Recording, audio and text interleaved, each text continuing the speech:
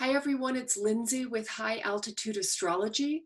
And today I'm bringing you a reading about Mercury going retrograde. And that's going to happen on October 13th at 7.05 p.m. Mountain Time. The chart is on the screen.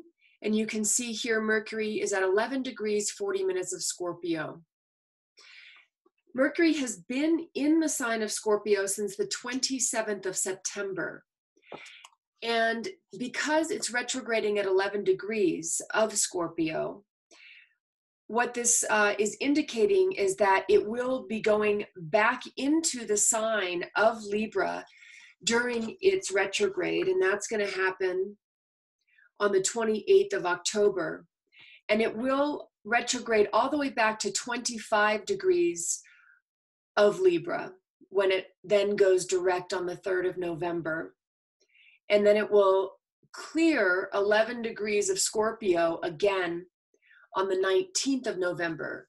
So this means that really the um, retrograde cycle completes after Mercury goes direct and we clear the degree to which it went retrograde at. So we've got a little bit of time from, from now through the 19th of November to experience the Mercury retrograde cycle and what it means. Now, Mercury is retrograding in the sign of Scorpio. Uh, well, let me first talk about traditionally what retrograde uh, planets of any kind means is that the energy becomes more internal and we we have an opportunity to reflect on it uh, retrograde stands for things like reviewing reconsidering reflecting redoing so situations that deal with the need to review uh, readdress, reconsider things related to communication because that's what Mercury is all about. Mercury deals with how we communicate, how we talk, how we speak, how we think logically, sending inform, you know, sending information through the written word, through the spoken word, through emails, through technology. Um, it can be a time when it's retrograde that things relating to technology can come up computers breaking down, printers breaking down, you know, needing to, you know, address those kinds of things. We can be a little careless when it comes to uh, remembering things sometimes. It might be when we we forget that appointment time or that appointment date. So just understand that during this Mercury retrograde time, especially uh, the time between now when Mercury's retrograde and then when it goes direct, which is again uh, in November on the 3rd, uh, you may experience more of that technical uh, frustration but knowing it uh, gives us an opportunity to be able to step back from a bit uh, back from it a bit more when it happens and really bring more awareness to situations and uh, the patience required to address issues. Now scorpio which is the sign that mercury is retrograding in is very interesting because uh, of the especially the connections Mercury is going to be making during this retrograde cycle um, to Uranus and to Saturn. But I'll get to that in a minute. But Mercury in the sign of Scorpio is really about delving deeply into and uncovering uh, psychological motivation, psychological understanding, the shadow, things that are hidden. You know, it's a very revelatory energy through that process of going deep into the shadow. So, Mercury in Scorpio is definitely an energy that likes to probe underneath the surface, wants to find out what's hidden, wants to get to the bottom of things. It can also have a very penetrating quality to it, Mercury in Scorpio. So there's a lot of truth and honesty that can come out. Uh, so these just may be themes that are coming up during this retrograde time where maybe we are having to have some deeper conversations with people at this time, or we're understanding things uh, in a more deep way about certain situations in our lives. Truth is being revealed, and now it's time to begin to um, you know address these kinds of situations maybe we're receiving at this time more clear understanding about things through that mercury and scorpio experience mercury and scorpio relates to uh, thinking perceiving and communicating as well as taking in new information with uh, passion, privacy, intimacy, vulnerability, a research oriented quest for truth and transformational intensity and powerful desires. Now, the shadow side of Scorpio is manipulation, secrecy, and belligerence. So, that would definitely be something as Mercury is moving into retrograde. If some of these uh, issues are coming up, some of these conversations are coming up, some of these insights are coming up, that we are very aware of how we're working and dealing with these insights because we don't want to express the more challenging and shadow sides of of Mercury in Scorpio willingly. So we don't want to become belligerent. We don't want to become secretive. We don't want to become manipulative.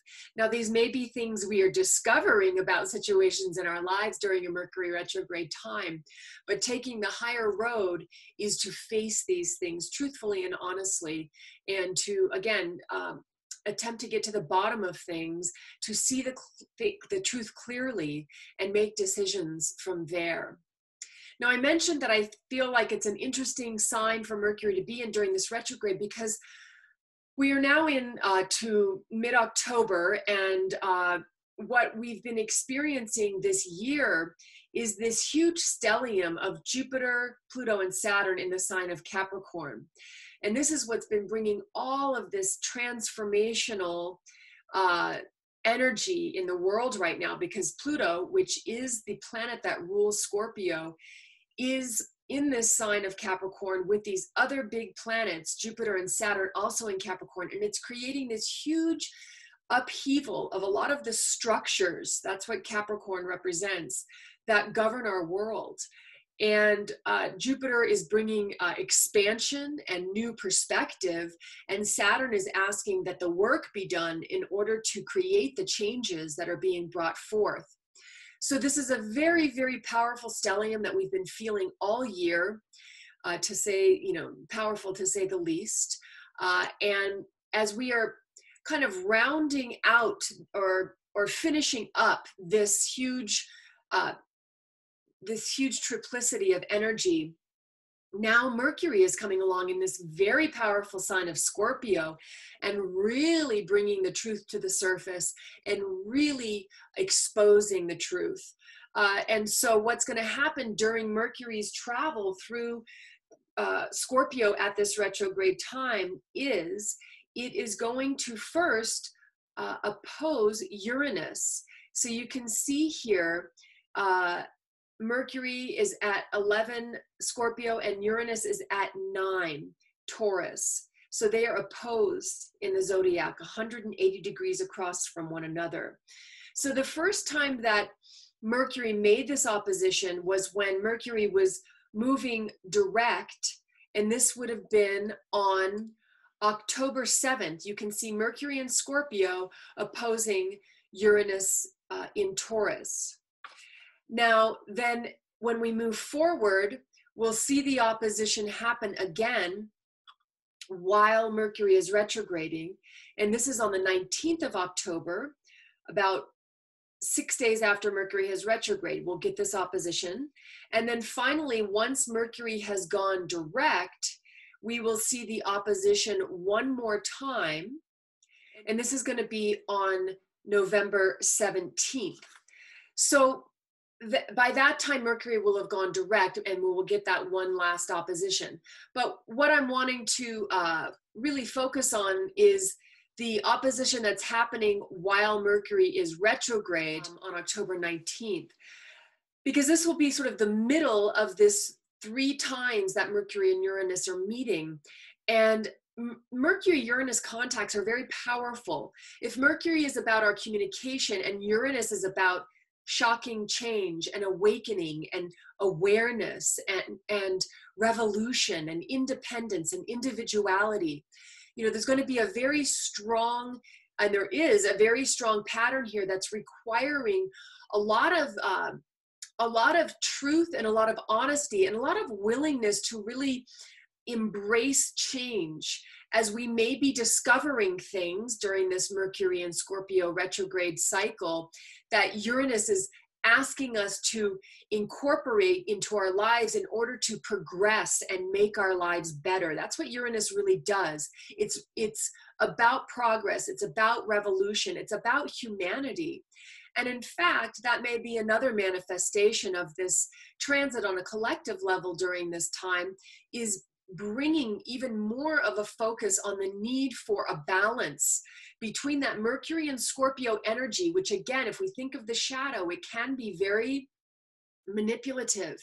And and Uranus is in Taurus. Uranus, again, ruling progress, humanity in the sign of Taurus, which is really a practical energy. It's very grounded.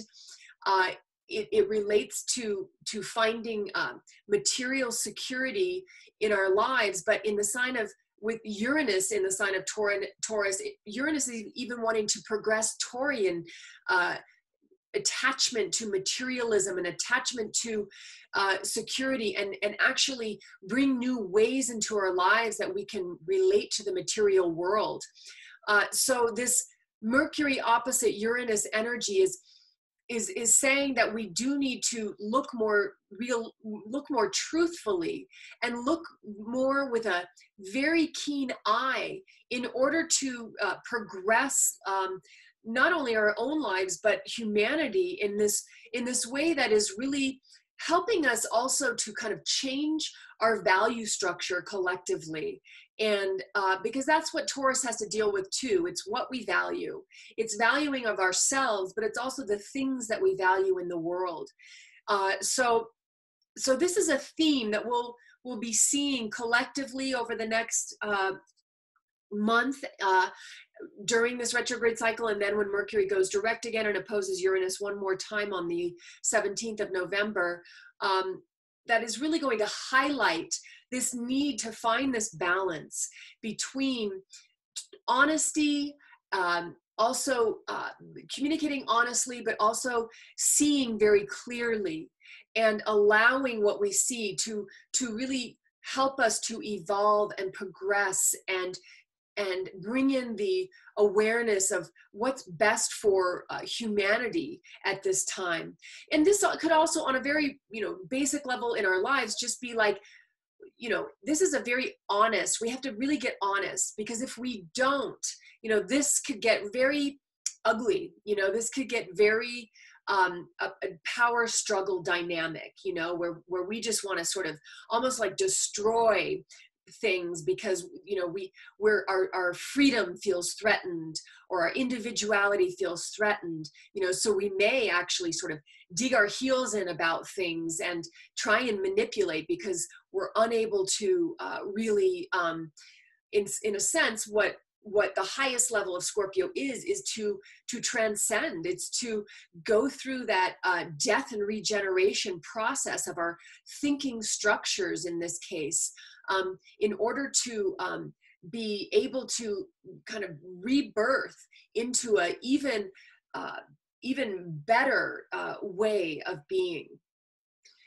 The other thing that Mercury is doing during this retrograde cycle is that it is making a square to the planet Saturn. And Saturn is one of those three planets that have been in the sign of Capricorn this year and creating a lot of this powerful change. Now, the first time Mercury and Saturn squared was in September on the 23rd. Uh, but then what's going to happen during Mercury's retrograde cycle is that Mercury is going to square Saturn. Here's the uh, Mercury is going to square Saturn on November 1st as Mercury is retrograde. Now, Mercury at this point has moved into the sign of Libra in its retrograde. And here we can see it at 26 degrees Libra and Saturn's at 26 degrees of Capricorn. So this again has already happened once in September, and now here it is happening a second time in uh, on November 1st. And then once Mercury goes direct, it will happen one more time, and this will occur on November 6th, also at 26 degrees. So what's happening as Mercury, as it's retrograding, squaring Saturn, is this is about maturity through our mental processes, meaning Mercury deals with our thinking and our logic, but Saturn deals with discipline and structure and, and form, and it deals with you know te- lessons and discipline.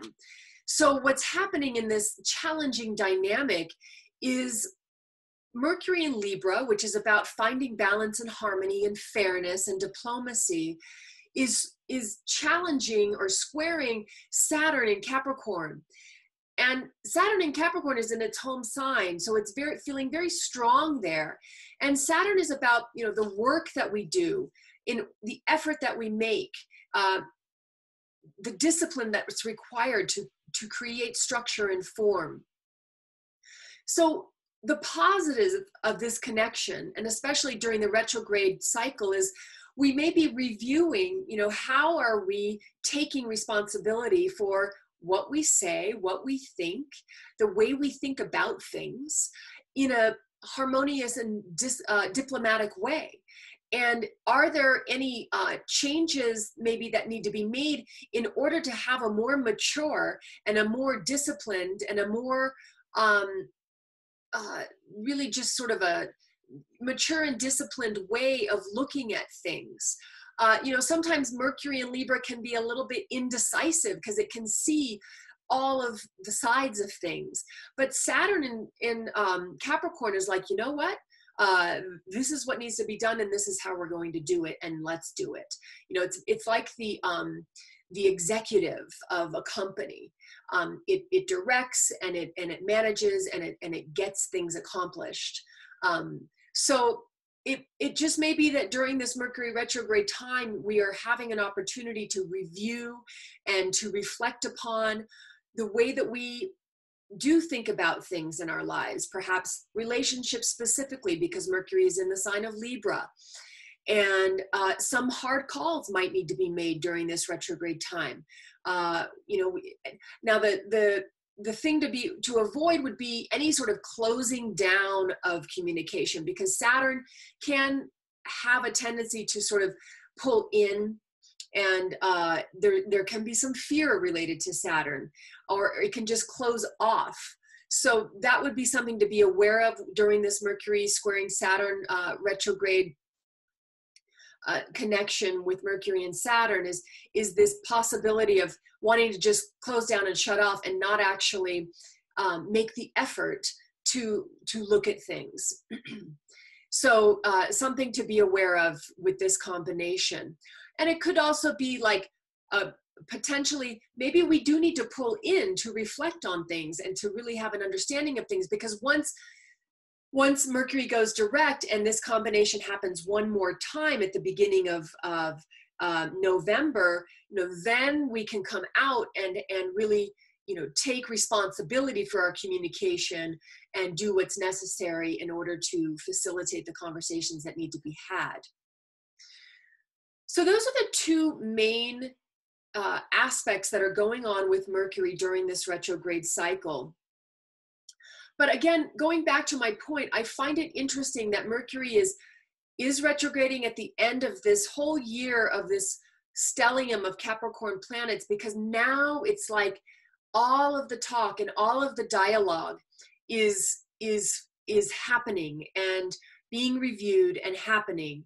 And so finally, at this last conjunction between Mercury and Saturn on November 6th, it's like these, you know, these, uh, everything is now being able to be looked at in a really logical way. You know, there's been so much this year of in so much information that it's been hard to really navigate the overload of information out there and really understand the truth of things and i think that's what this mercury retrograde cycle is going to be helping us do is to really help us see the truth more clearly and then have an opportunity to uh, to have to find balance within our thinking structure and to fi- use logic as a way to find fairness, find balance, find harmony, find diplomacy.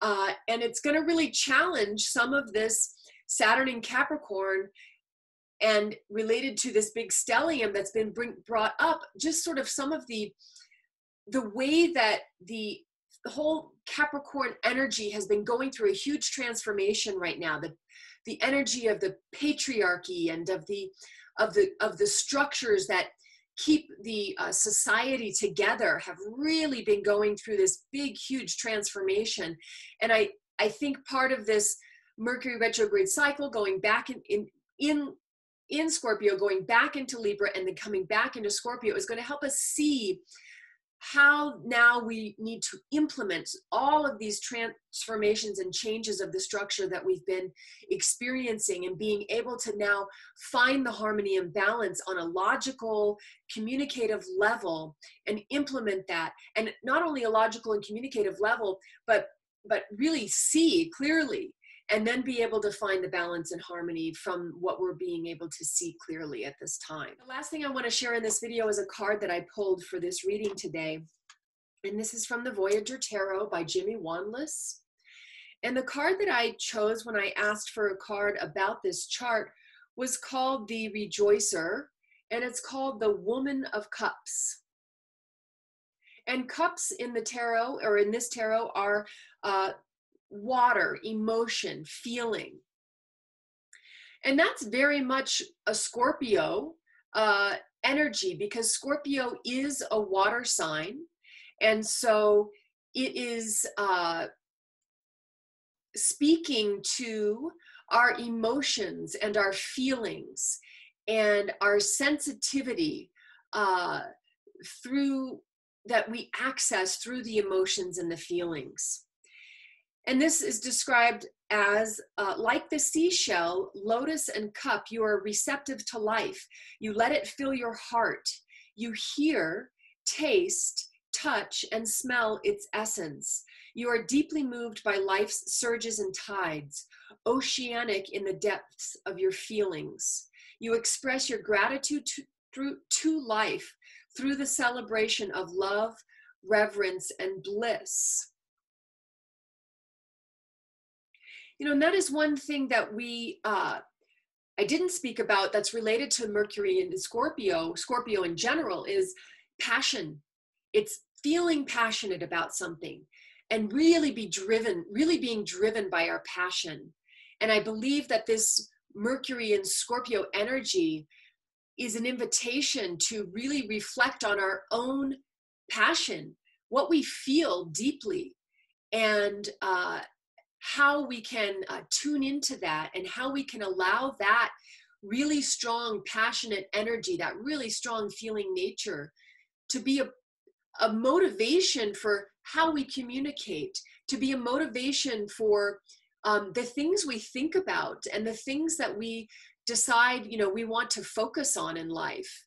Uh, this can really, uh, this time can really get us in touch because again, Mercury retrograde being kind of an internal interning energy where we reflect on the thinking and the uh, communication processes within ourselves, but in this very deep, deep way, this very deep Scorpio way. And I feel this time can really help us to get in touch with what it is we deeply feel and what it is we're deeply passionate about and invite us to to really connect with that and can come out into the world really confident with what it is uh, we are we are connected to on a passionate and a feeling level and be able then to share that in our lives with others.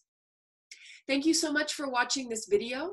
If you like it, please subscribe and I will see you at the next one. Take care.